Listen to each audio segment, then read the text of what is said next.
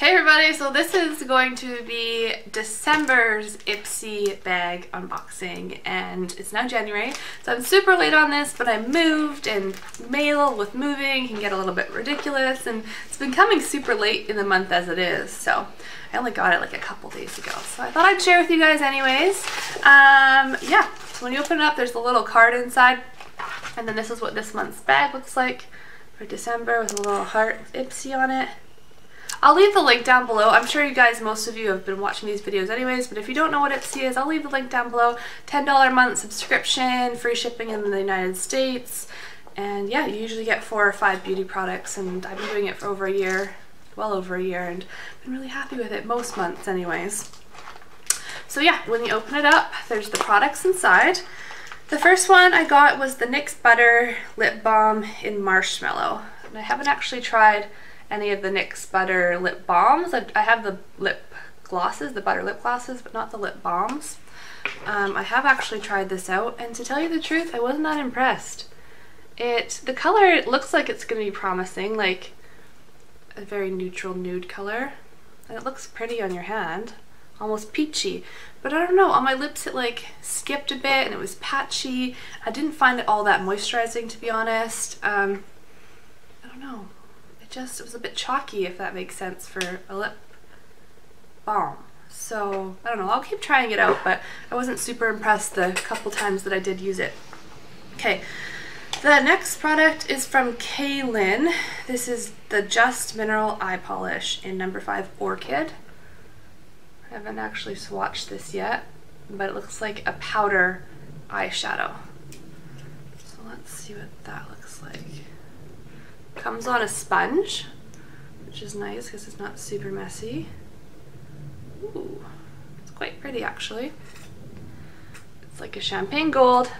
Can't tell you how many different versions of champagne gold eyeshadow I own, but uh, I guess that means I really like it, so I will give it a try. I thought the powder would kind of, you know, poof everywhere, but it didn't. It's sticking to my hand good, so that's nice. The next thing I see is from BWC, Beauty Without Cruelty, Premium Aromatherapy Facial Cleanser, 100% vegan. That's what that looks like. Um, I mean, I like the brand, so that's exciting, but it's a facial cleanser, so that's nothing too, too exciting for me. I'm traveling next week, so it's maybe something I could bring along or just put in my shower, but it's kind of a whatever product.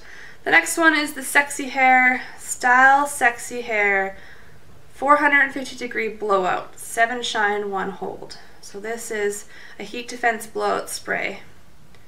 There's a whole bunch of other things on there too. Heat defense blowout spray.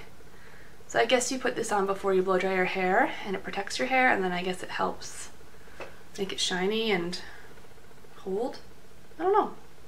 I like th this brand is hit hit or miss for me, so I'm definitely gonna try it out. Um, and then the last product is from Tarte, which is, which is exciting. It's the Lights Camera Lashes Travel Size Mascara. I believe I've tried this out before. I'm gonna open the wand so I can remember what it looks like. Oh, I don't know, it's hard to say. Just a very basic wand, bristle brush wand.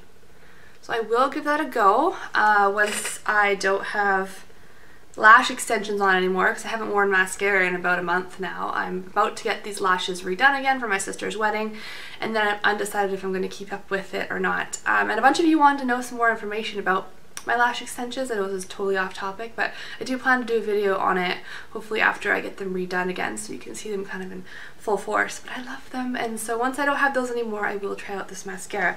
And that's it! That's this month's bag. So mascara, facial cleanser, eyeshadow, lip balm, and hair blowout spray. So not too bad, not one of the most exciting months, but not a terrible month either. Let me know what you guys got in your December Ipsy bag down below, and I hope you're all doing well, and thank you so much for watching. Bye!